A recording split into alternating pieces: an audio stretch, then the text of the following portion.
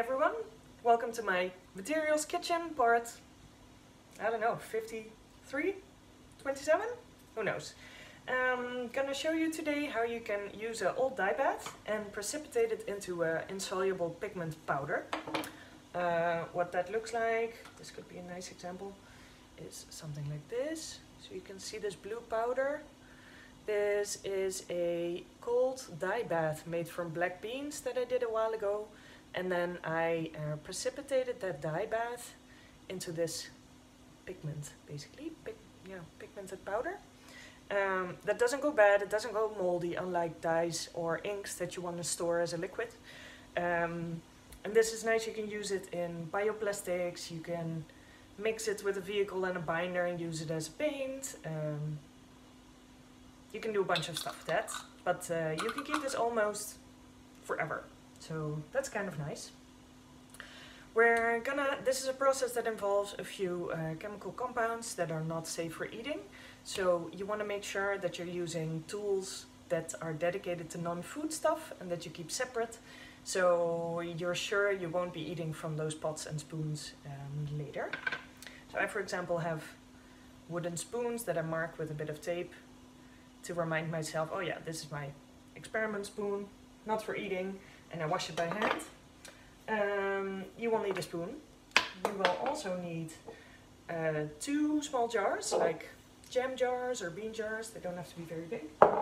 And then you need one very tall jar or glass or vase, something like that.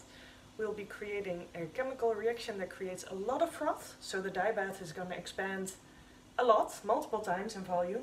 And you need to have the kind of space for it to go whoop, all the way up, even if your liquid starts only being this low. So be prepared for that. This is stuff I only use for experiments. I don't, I don't make pickles and do put stuff in it. Um, so I'm happy to use these. This is an old yogurt jar.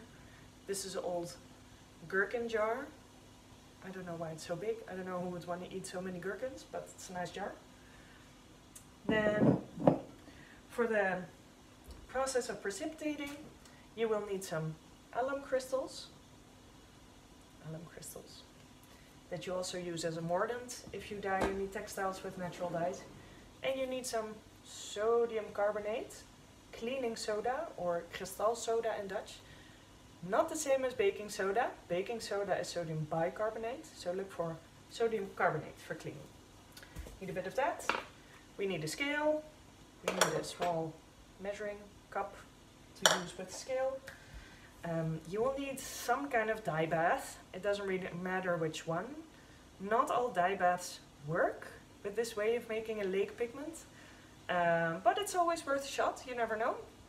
So the dye bath that I have, that is evaporating right now, it's evaporating a lot of water, is sitting on the stove, is a dye bath made with old um, walnut, walnut shells I did some dye experiments with them. Not going to show you this process. It was kind of fun to do, a fermented walnut dye, but the results are pretty beige and brownish, khaki, um, which I guess um, I have a few of, so I don't know if that's so interesting to show you for now. But you need some kind of a dye bath. Make sure you have like maybe 250 milliliters of dye bath. If it's ink, um, it's basically the same, but ink is a little more concentrated, so there's just less water in it. Um, but yeah, something like that, 150, 250, a bit more. Um, you can adapt along the way. Um, what else do you need? Oh yeah, for the drying process you need a bunch of stuff. Okay, let me get some.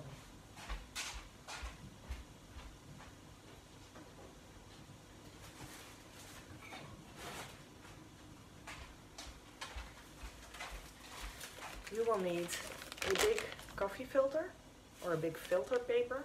I always really like these. If you only have a regular filter coffee coffee filter, use that and just do it in parts.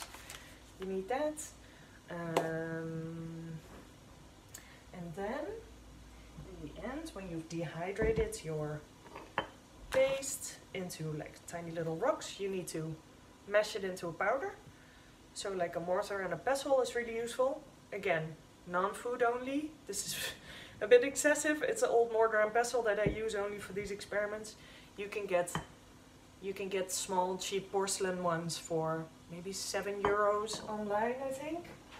Um, that are used in chemistry also to powder up uh, tablet spills, stuff like that. But um, equally, any kind of glass that has like a, a straight edge. This is the top of a top of a glass bottle, fancy glass bottle.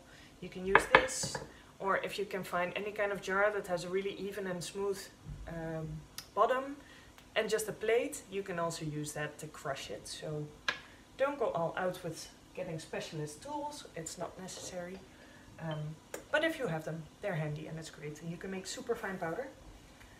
Um, and maybe you want to get a jar or a little Ziploc bag to store your pigment in the end, because you need to put it somewhere. I think that's it. Let's do it.